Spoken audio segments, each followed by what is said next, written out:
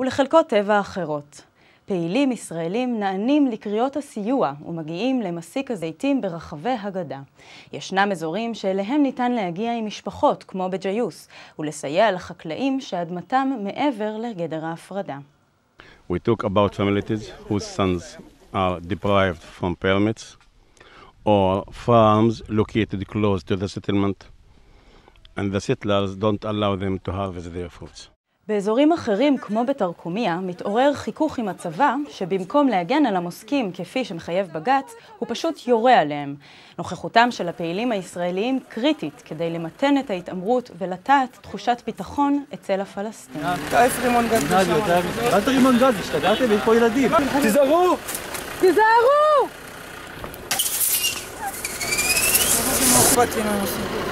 אנשים וילדים שם.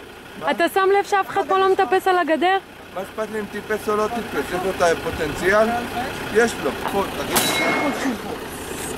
כרגע קבעתי אבל שהמסיק למרות הבעיה יימשך. תודה רבה, אני מעריך את בסדר? זה מאוד. אה, שימסקו, אין שום בעיה. בדרום הר חברון, שם הצבא שולף צווי שטח צבאי סגור בניגוד להוראות, ישנה חשיבות רבה לנוכחות הפעילים, אשר בזכותם מתאפשרת לחקלאים העבודה בשטח. יש אישור חתום על ידי מג"ד. זה בשבוע שעבר. היינו פה, כן. סמג"ד אמר, כן. קו החורשה, כן. קו הטרסה, כן. אין שום בעיה. לא מבין למה השבוע צריך לסגור את זה. אז תבררו את זה בבית משפט. לא, לא, לא, לא, לא, לא, רגע, זה לא לא כל כך פשוט העניין הזה. מה- מה פתאום סגירה? בניגוד לכל ההוראות. השנה כבר ניתן להצביע על מגמה עצובה. על פי רבנים לזכויות אדם, התקופה האחרונה הייתה אחת הקשות מזה שנים ביחס לפגיעה בעצי הזית של הפלסטינים.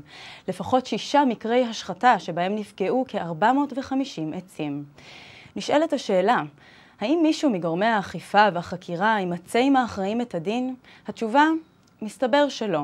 על פי ארגון יש דין, רק אחת מ-162 החקירות שמצויות במעקב הארגון מאז 2005 הובילה עד כה להגשת כתב אישום נגד חשודים במעורבות בפגיעה בעצי פלסטינים. אחת מתוך 162 נצפה לרגע ברשימה. 124 תיקים נסגרו בעילת עבריין לא נודע, המעידה על כישלון החוקרים באיתור ובזיהוי חשודים בביצוע עבירות.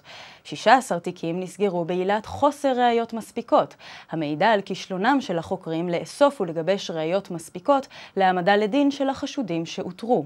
שני תיקים עבדו ולא נחקרו. מי שרוצות ורוצים להצטרף לפעילות המסיק בימי חול או שבת, יכולים לקבל את כל המידע בדף קואליציית המסיק בפייסבוק ובאתר רבנים לזכויות אדם. אנחנו נמשיך לדווח מהשטח.